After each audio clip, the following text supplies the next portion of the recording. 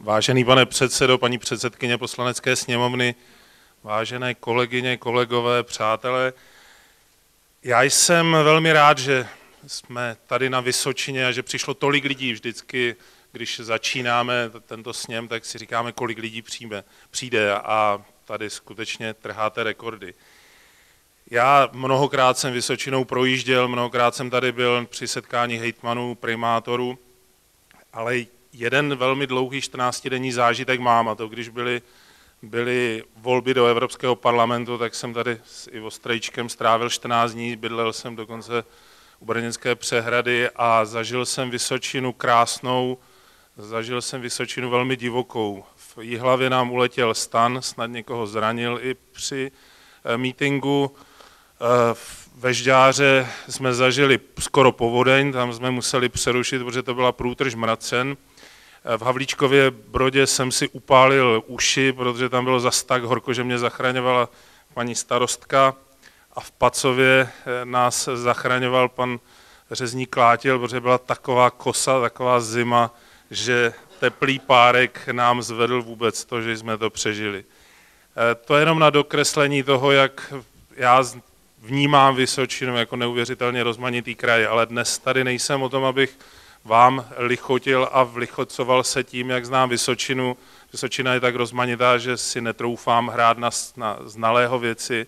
Dnes jsem tady proto jako jeden z kandidátů, abych se ucházel o váš hlas eh, na kandidáta na prezidenta republiky s podporou ODS. Je to velmi vážná věc, kterou já vnímám velmi zásadně, ale v prvé řadě si myslím, že je to zásadní věc pro ODS. Můj politický život začal krátce po listopadu 89 v malé sídlišní organizaci občanského fóra, tak jako vznikaly mnohé jiné takovéto organizace po celé zemi eh, po pražských, pražských událostech. V Ostravě to bylo přece jenom trochu zvláštní, protože Ostrava vždy patřila k baštám komunistické ideologie a nebylo to vůbec nic jednoduchého Ostravě se bavit o tom, jak probíhá revoluce v Praze. Ale to, myslím, vy na Vysočině znáte také velmi dobře. V Praze se již jednalo o tom, jak sestavit vládu bez komunistů. My jsme se scházeli někde ve sklepě v nějakého panelového domu a v té době ještě hlídkovali před tím, před tím domem hlídkovali policajti a Později jsem se dověděl, a to už jako primátor, že mnozí z těch, kteří se tam scházeli jako za OF, tak byli členové STB. Byla to doma dramatická, byla to doba velmi pohnutá. Troufám si říct, že v té době nám ani nedocházelo všem, o čem hovoříme, co se bude dít, ale byla to doba, na kterou ti, co ji zažili v takových podmínkách, nikdy nezapomenou a myslím si, že členové ODS k ním jednoznačně patří. V roce 1991 nebo 1991 jsem vstoupil do ODS, protože jsem vnímal, že potřeba dát celému novému systému nějaký řád. Byl jsem přesvědčen, že díky svému vzdělání k tomu mohu přispět a tam má to mé přesvědčení vycházelo z mého vysokoškolského vzdělání, tedy systémového inženýra, matematika, analytika. Viděl jsem totiž v ODS cestu k jasně definované demokracii, postavené na soutěži politických stran. ODS pro mě tehdy znamenala pojetí svobody úzce propojené s osobní zodpovědností jednotlivce. V roce 1993 jsem se rok před komunálními volbami stal primátorem Ostravy. Byl jsem přesvědčen, že další volby v roce 1994 nemohu politicky přežít a tím se mi uklidňoval svou ženu – protože se v tom roce zavíraly na území města všechny doly. Stejný osud potkal i části železáren, koksoven a dalších velkých podniků. Skoro každý den jsem chodil mezi normální dělníky, hutníky vysvětlovat, že je to nezbytné, že to bohužel doba přináší a že se tomu nedá, nedá vyhnout. Bylo to pro mě, byla to pro mě velká škola života, na kterou také nikdy nezapomenu, ale byla to doba, kterou jsme my na začátku 90. let všichni žili. Nesmírně inspirující pro mě ale byla obrovská chuť lidí pustit se do něčeho nového, vzít svůj osud do svých rukou. A tady se opět ukázala ta obrovská česká nátura, schopnost improvizovat, lidé začali podnikat. Touha po osobní svobodě byla obrovským motorem změn. Já do dneška potkávám hutníky, kteří mají svoji firmu, malou rodinou. Tenkrát, kdyby mě to někdo řekl, tak bych jim nevěřil. Když se na konci 90. když na konci 90. let vznikaly kraje, kandidoval jsem na hejtmana. Chtěl jsem se pokusit dát řád, systém a formu nově vznikajícímu útvaru, který ODS upřímně řečeno nechtěla a kterému jsme se bránili, tak až jsme vyhráli masově v těchto volbách. O dva roky později, přesně před deseti lety, se o mě začalo hovořit jako o možném kandidátovi na předsedu ODS, jako nástupci Václava Klauze v čele strany, kterou on zakládal a dlouhé roky ji vytyčoval směr.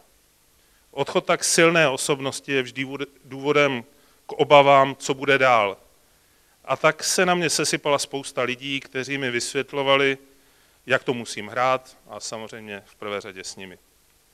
Stále silněji jsem si uvědomoval, že nemám kolem sebe dostatek svých lidí a hlavně těch lidí, kteří by se uměli pohybovat v celorepublikovém dění politickém a jít takto do Prahy si dovedete představit, že není vůbec nic jednoduchého. Měl jsem v té době za sebou sedm let snad eh, úspěšného primátorství ve velkém městě a velmi komplikovaném městě a necelé dva roky budování pozice hejtmana v poměrně silném kraji a ne také úplně jednoduchém.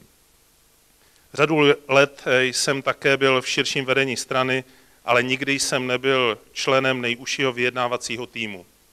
Nebyl jsem senátorem ani, porad, ani poslancem a volby byly v nedohlednu. Dovedete si představit, jak by předseda ODS chodil na bránu do poslanecké sněmovny a čekal, až ho nějaký poslanec přivede na jednání politických stran. Byl jsem přesvědčen, že všechno to, co, to, co mi v té době chybělo, předseda ODS nutně potřebuje, včetně toho vstupu do poslanecké sněmovny. Navíc rostlo i mé normální lidské naštvání na některé členy ODS a má obrovská nechuť ke kompromisům, ke kterým mě mnozí vyzývali. Protože jsem dříve, než by mne mohlo jakkoliv, jakékoliv združení navrhnout, odmítl přijmout případný návrh na předsednickou kandidaturu. Dodnes jsem si jistý, že šlo o nejmoudřejší rozhodnutí v mém životě. A to nejen pro mne, ale pro celou ODS. Tehdejší situaci mohl zvládnout a přežít zcela jiný typ člověka, než jsem já. Hejtmanem jsem nakonec byl po dvě volební období, tedy 8 let. Po celou tu dobu bylo nemyslitelné, že by do městských či krajských rad vstoupili komunisté.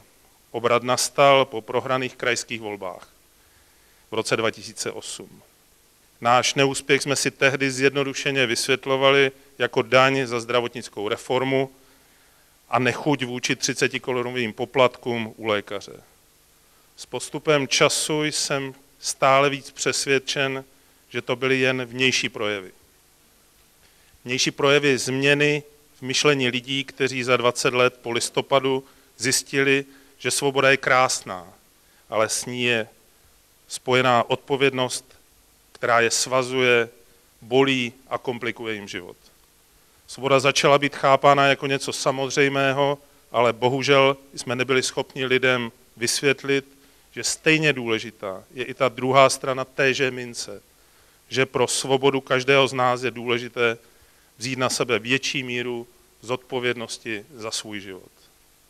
A co hůř, na mnoha místech začaly vznikat koalice sociálních demokratů a s komunisty a lidé to pro nás překvapivě nezačali dramaticky odsuzovat a nedemonstrovali na náměstích, jako v roce 1989. Nějak hrozně rychle jsme zapomněli a začali vnímat úplně něco jiného. Pro mě to byl, byl absolutně varující signál, že pomalu, ale jistě přestává fungovat étos 90. let, který byl motorem úžasné ekonomické transformace naší společnosti. V této situaci jsem v roce 2009 kandidoval do Evropského parlamentu, kde ODS získala z dnešního pohledu neuvěřitelných více než 31% a mě osobně voliči ohodnotili více než 100 000 preferenčních hlasů. Právě v tomto období jsem, začal stále častěji, jsem se začal častěji setkávat s názorem svých kolegů, kamarádů, známých i neznámých lidí, abych v případě schválení přímé volby prezidenta republiky uvažoval o kandidatuře. Na počátku jsem to nebral příliš vážně, ale tento názor sílil a stále častěji jsem se s ním setkával u lidí, kterých si skutečně velmi vážím. Proto jsem o kandidatuře začal vážně přemýšlet. Nebylo to vůbec snadné. Vůči prezidentskému postu mám v sobě zakódovánu vysokou míru úcty. V mé rodině byla tradice prezidenta Tomáše Garika Masaryka symbolem české státnosti. Mé osobní zkušenosti s polistopadovými osobnostmi, jako byl Václav Havel s Václavem Klausem, mé úvahy ještě více komplikovaly. Připadalo mi troufalé se vůbec o kandidaturu na prezidenta republiky ucházet. Prezident je totiž prezident. Za dobu 20 let, co jsem vstoupil do aktivní politiky, jsem ztratil větší ostych vůči ministrům či premiérům. Ministři jsou dělníci politické scény, střídající se v rocích, někdy v měsících. Premiér samozřejmě může za vše. Vláda je často lidmi vnímána jako strůjce všeho nepříjemného, co, jen, co jim život přináší. Prezident je ale ve zcela jiném postavení. Právě k němu lidé přenášejí své naděje na lepší budoucnost. Podvědom, podvědomě je spojují s dlouhou historií českého národa.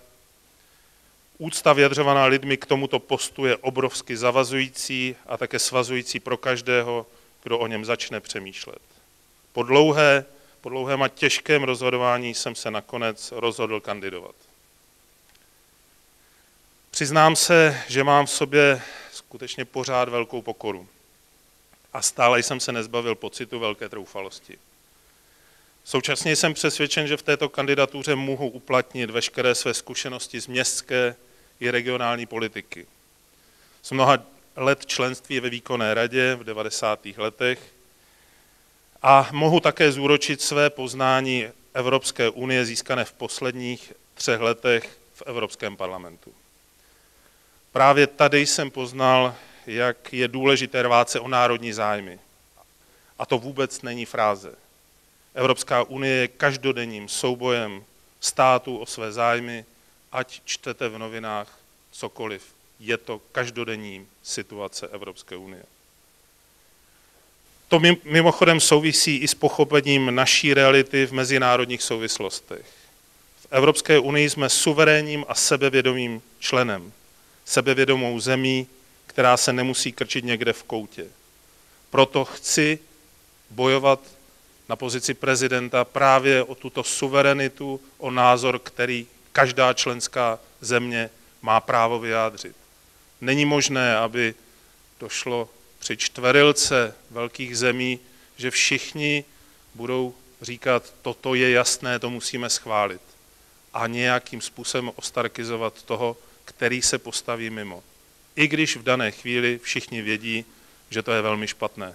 To je jenom připomenutí paktu stability, o kterém se tak strašně hovořilo a ten už druhý den byl prakticky po smrti.